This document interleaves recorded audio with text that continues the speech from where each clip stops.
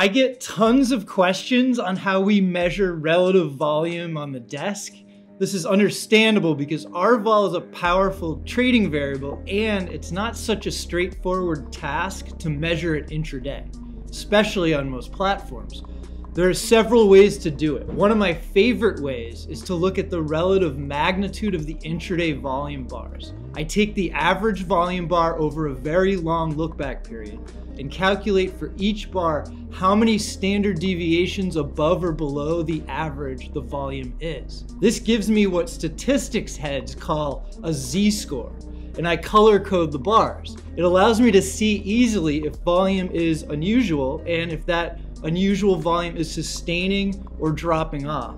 Volume was a big tell on this Apple breakout trade, and this is the kind of thing I review in detail every Tuesday after the close in our Bionic Trader Inside Access meeting.